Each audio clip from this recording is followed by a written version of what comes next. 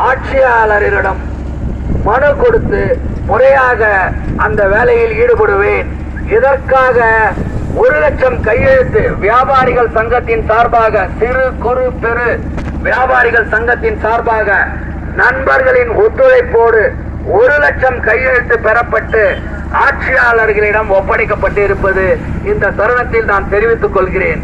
அன்பார்ந்த ஆரணி தொகுதி வாழ் மக்களே உங்களது பொன்னான வாக்குகளை குப்பை தொட்டி சின்னத்தில் வாக்களிக்குமாறு உங்களை அன்புடன் வேண்டி கேட்டுக்கொள்கிறேன்.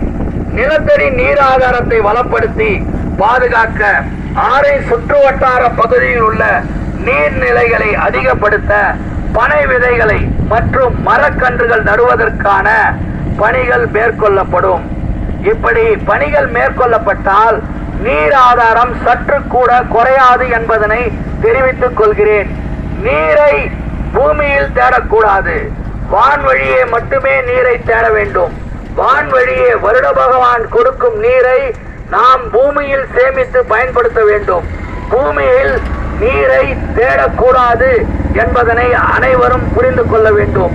அதற்காகத்தான் நமது ஐநூறு வருடத்திற்கு முன் ஆயிரம் வருடத்திற்கு முன் நமது முன்னோர்கள் அரசை ஆண்டவர்கள் குட்டை ஏரி போன்ற குளங்கள் எண்ணிலடங்கான எண்ணிலடங்காத லட்சக்கணக்கான குளங்களை அமைத்து நீரை சேமித்து பயன்படுத்துங்கள் என்று நமக்கு கற்றுக் கொடுத்து வந்தார்கள்.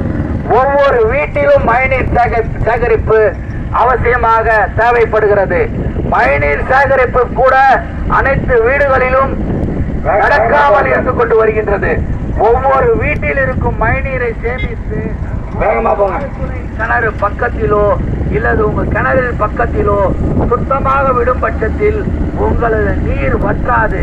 எப்பொழுதும் தண்ணீரை பூமியில் தேடக்கூடாது. வான்வழியே மட்டும் தேட வேண்டும். ஒரு வருடத்திற்கு நமக்கு தேவையான நீரை வருட பகவான் கொடுத்து விடுகிறார்.